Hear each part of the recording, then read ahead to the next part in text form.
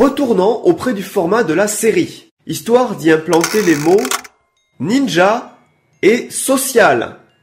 Hein, il y a une sorte de contresens là. Mais on devrait trouver de quoi faire. Il s'agira d'une web série sur YouTube, sous la forme d'épisodes courts et humoristiques, tout du moins pour le début.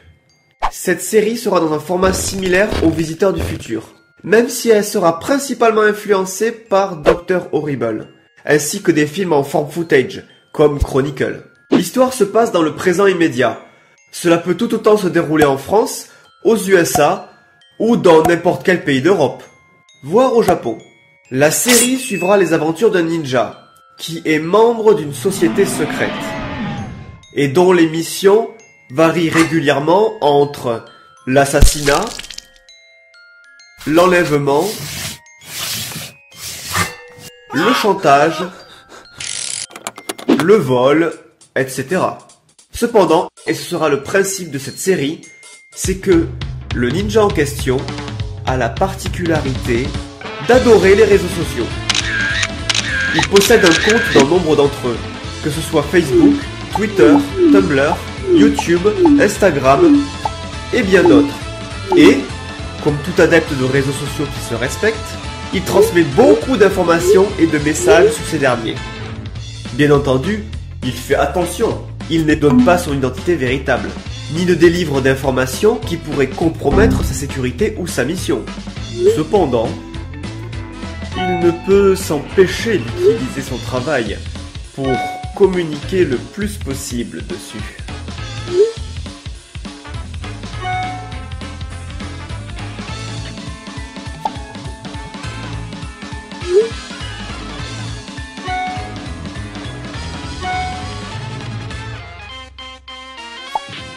Les premières vidéos de la série seront courtes et présenteront à chaque fois une des différentes missions possibles confiées au ninja.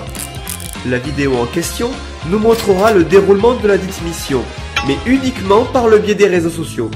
Ce pourra être des vines ou gifs animés Tumblr illustrant une des scènes de sa mission, des commentaires Twitter et Facebook pour parler des obstacles et situations qu'il rencontre pendant la mission, des selfies et photos Instagram dans la même optique, bien entendu des vidéos prises sur les lieux depuis son portable pour expliquer les méthodes qu'il va utiliser, et la mission pourrait se terminer par un ajout à son CV sur LinkedIn.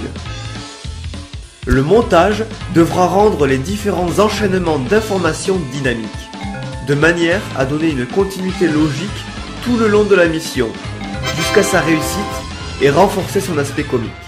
Cependant, il ne devra jamais y avoir de vidéo issue d'une véritable caméra.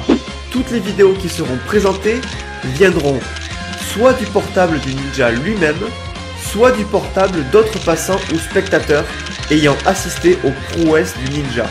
Au fur et à mesure de la première saison et des saisons suivantes, le format pourra s'étendre afin de passer de 5 à 15 minutes.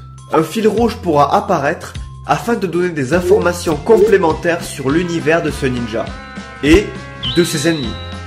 On en apprendra davantage sur l'organisation auquel il fait partie, organisation dont on ne sait pas d'ailleurs s'ils sont bons ou mauvais.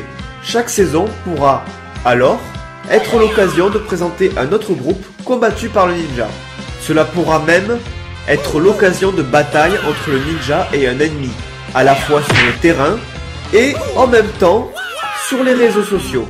Parmi les organisations que pourrait affronter le ninja, on imagine des mafias diverses, un groupe de samouraïs, un ordre de chevaliers, voire carrément s'amuser avec les théories du complot. Cette série aura une forte propension au cross-média. On peut très bien envisager que les internautes suivent son véritable compte Twitter, Facebook, etc. afin de communiquer directement avec le personnage et vivre avec lui une aventure complémentaire.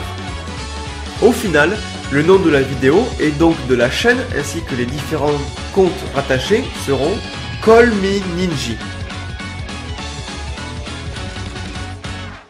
Merci d'avoir regardé ce pitch, j'espère qu'il vous aura donné des idées. Si vous voulez en voir d'autres, vous pouvez en trouver sur ma chaîne. Vous pouvez également vous abonner et les partager. Et enfin, si vous voulez créer vos propres pitchs, Vous pouvez télécharger l'application Fusion, disponible gratuitement pour Apple et Android.